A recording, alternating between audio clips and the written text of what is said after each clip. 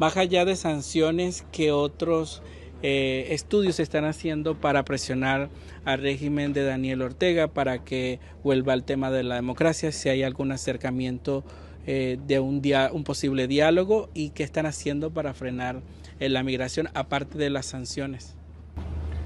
Bueno, nosotros eh, siempre estamos abiertos al diálogo.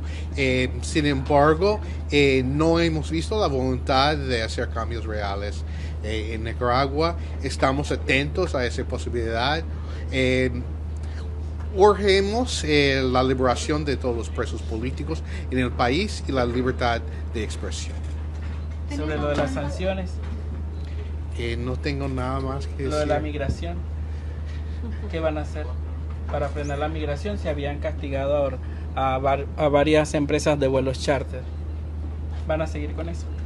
Mira, eh, estamos en contacto con el sector privado y las empresas de transporte constantemente para colaborar en prevenir la migración irregular en todo el hemisferio.